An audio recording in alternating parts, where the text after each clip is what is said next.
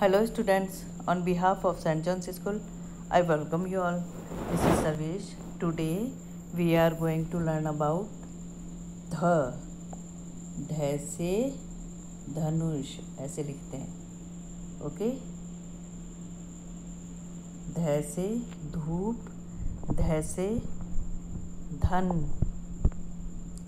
से सॉरी से धातु से धागा ध से धान ध से धनिया ध से धनुष ध से धन ध से धरती ध से धोबी ध से धातु ध से धातु ध से धोबी ध से धरती ध से धन ध से धनुष, ध से धनिया, ध से धान, ध से धागा, ध से धातु, ध से धूप।